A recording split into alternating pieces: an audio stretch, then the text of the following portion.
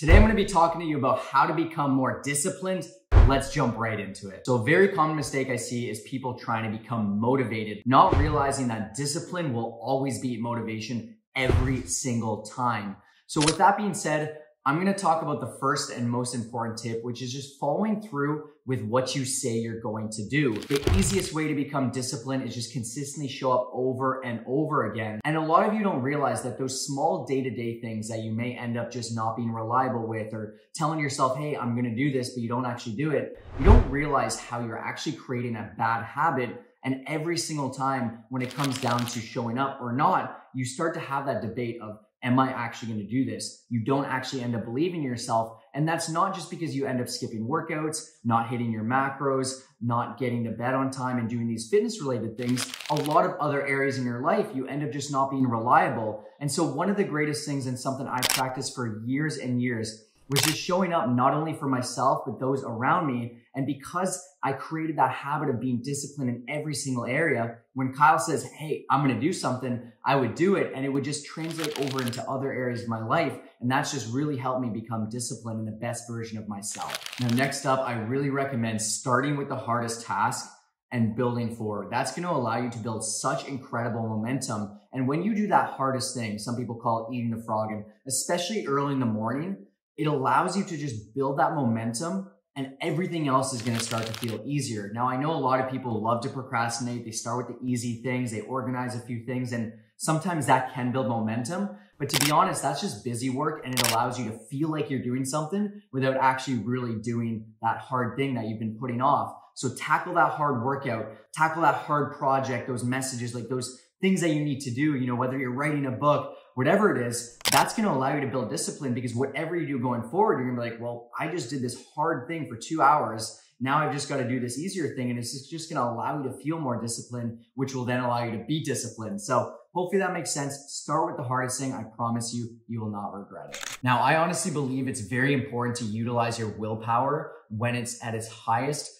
for the most important tasks. Same with strengths and weaknesses. It's very important to understand what a strength is, what a weakness is of yours, and how to work around that to fit the most perfect schedule to help you build that discipline.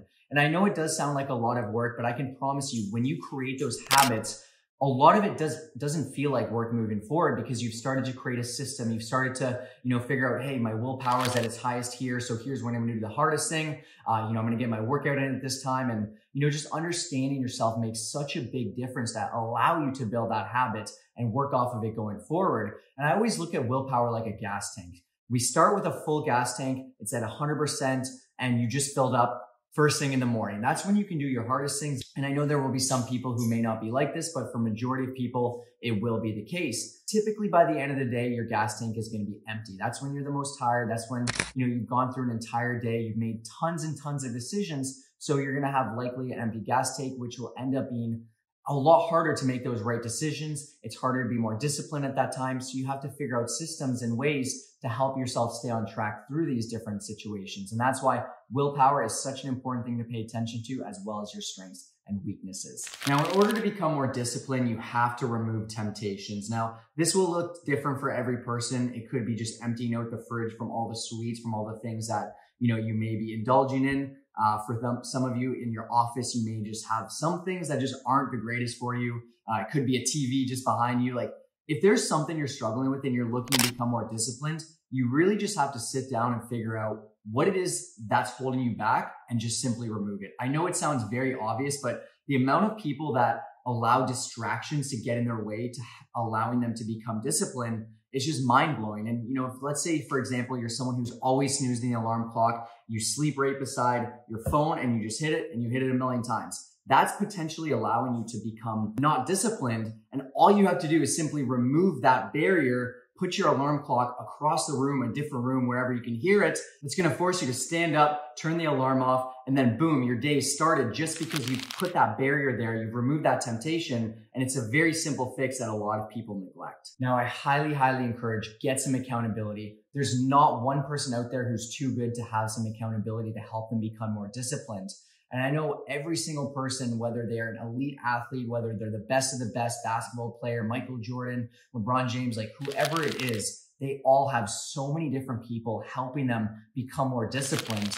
And no matter who you are, you're not too good for accountability and we all need it. There's nothing wrong with it. I know a lot of times people have way too big of an ego where they think, oh, I should be doing this myself. I don't need anybody at all. But I can promise you, when you either hire a coach or you get a group of people around you that's building you up and helping you become more disciplined, you will be absolutely unstoppable. And of course, that's what we do within our coaching program is we help anybody who's struggling, looking for help with their nutrition, their training, and just really looking to take things to the next level. We guarantee the results. And by having that person that you're going to check in with, that's going to give you a game plan, it makes you just such an unstoppable person because you do all the right things that's going to help you build those habits to become disciplined. And it's honestly amazing what you can accomplish when you show up for a consistent amount of time on your fitness journey. And that's all I have for you today. As you can see behind me, I have a discipline equals motivation flag that I purchased just because I wanted as a reminder every single day to become the most disciplined version of myself, to focus on building habits that's going to allow me to build freedom from being disciplined. And I really encourage you spend time thinking, how can I become